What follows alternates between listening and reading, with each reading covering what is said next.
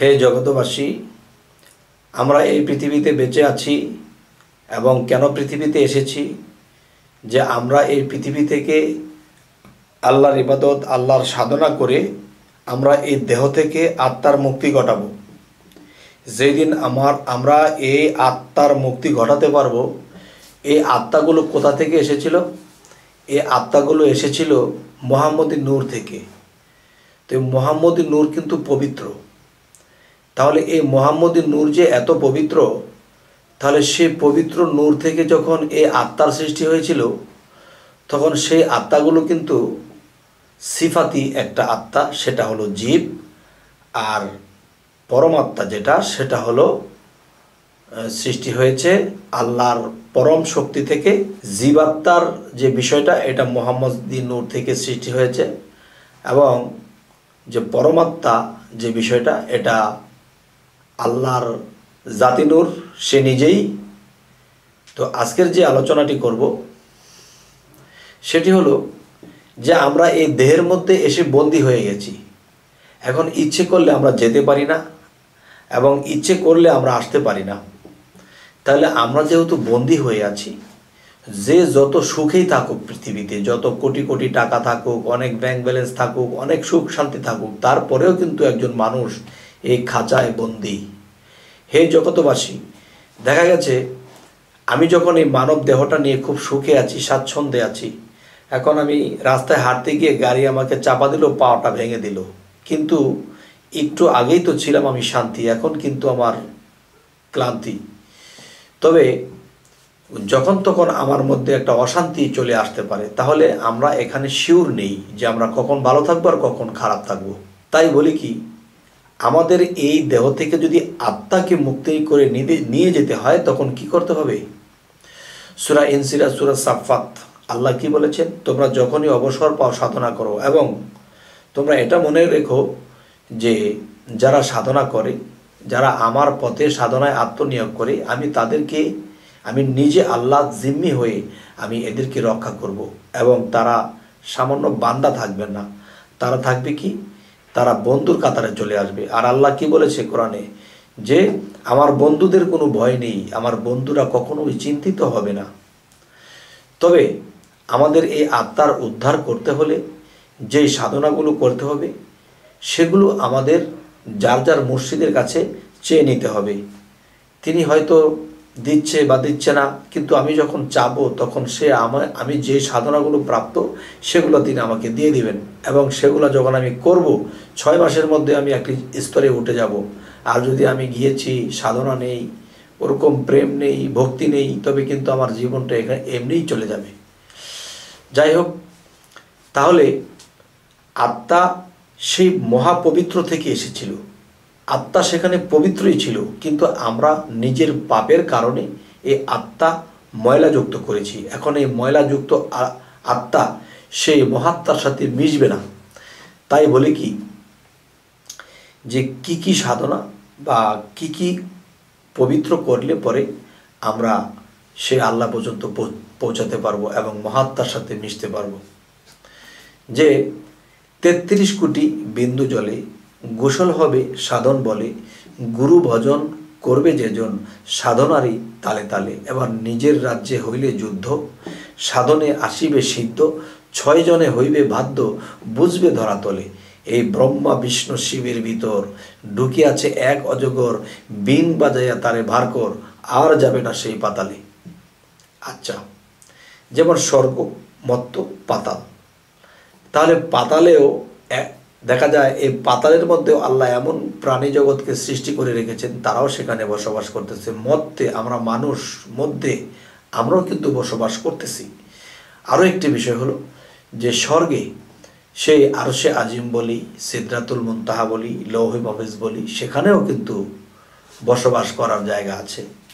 তাহলে এই তিনটি স্তরের মধ্যে আমরা পাতালে যখন ছিলাম, অন্য রূপে, অন্য জাতি হয়ে তখন দেখা যায় যে আমাদের কর্মকাণ্ড যাই কিছু করা হয়েছে, আমরা মানবকুলে এসেছি। এখন এই মানবকুল থেকে আমাদের যখন আত্মার মুক্তি ঘটাবো, তখন সেই হিন্দু শাস্ত্রে বলতেছে, বৈকুণ্ঠ আমরা বলি, আরশে আজিম তাহলে সেই আরশে আজিমে আমাদের বাসস্থান হবে। আর সেই বাসস্থান হতে হলে তেত্রিশ কোটি বিন্দু জলে আমার এই দেহটাকে গোসল করাতে হবে। হে জগতবাসী তেত্রিশ কোটি বিন্দু জল দ্বারা যখন প্রত্যেহ সাধনার মাধ্যমে আমার এই দেহটাকে দেহটাকে যখন আমি পবিত্র করব, তখন পাশাপাশি দমের সাধনা করব, ধ্যানের সাধনা করব, যখন আমার আত্মা পবিত্র হবে, তখন মৃত্যুর খবরটাও এই পৃথিবী থেকে এই লোকটা বলে যাবে এবং কোথায় যাবে সেটাও বলতে পারবে। হয়তো সকল আউলিয়ারা অতটুকু বলে না, বেশিরভাগ বলে থাকে কি? যে আমি ইমুক দিন ইমুক তারিখে এতটা বাদে চলে যাব। কারণ কেন বলতে পারছেন তিনি? যিনি তাকে নিয়ে যাবেন, তিনি কে? আজরাইল। সে আজরাইল কিন্তু তার কাছে এসেছে আগাম খবর নিয়ে, হে আল্লাহর অলি আপনার কাছে ভক্তি দিয়ে বলি যে আপনি এতদিন আর আপনার সময় আছে, আপনাকে চলে যেতে হবে। তখন সেই ব্যক্তি ওই টাইমের মধ্যে নিজেকে আরও প্রস্তুত করে নেয়। তাই বলি, তেত্রিশ কোটি বিন্দু জলে গোসল হবে সাধন বলে গুরু ভজন করবে যেজন সাধনারে তালে তালে। এবার নিজের রাজ্যে হইলে যুদ্ধ, সাধনে আসিবে সিদ্ধ, ছয় জনে হইবে বাধ্য, বুঝবে ধরাতলে এই ব্রহ্মা বিষ্ণু শিবের ভিতর ঢুকে আছে এক অজগর।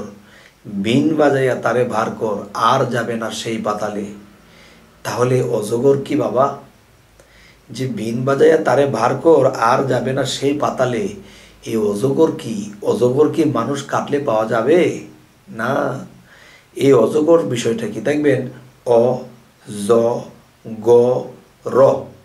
তার মানে এই চারটা অক্ষরের নাম বললে অজগর নাম হয়ে যায় এবং এই চারটা অক্ষরের সাথে জাত শক্তি মিশ্রিত আছে।